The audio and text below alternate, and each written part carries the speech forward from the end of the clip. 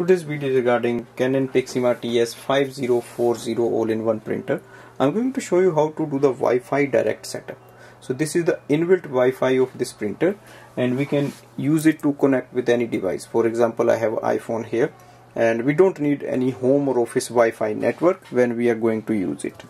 Now the first step is to switch on the printer and once your printer is on just go to the display panel. On the display panel as you can see we have the copy scan print and here is a mobile option and this is the setting option. So you just simply have to go to the setting and click ok. Next is the setting. So click ok on the setting. Click ok on device settings. Then go for LAN settings. Click ok. Then go for wireless direct and click ok on the next screen we see wireless direct active or inactive. So click ok so that we can active the Wi-Fi direct and switch it on. And it will take few seconds to activate it. So once it is activated we need to know the password. So it will display the password on the next screen. So click yes.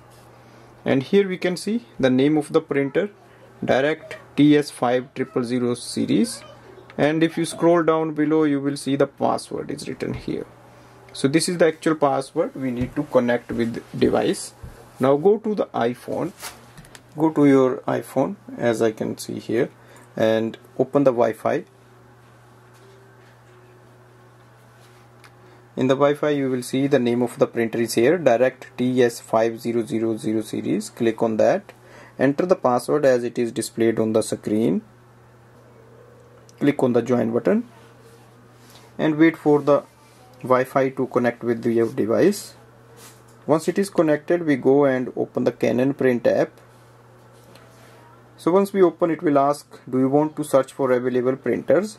Click on yes. And it will try to add the printer automatically.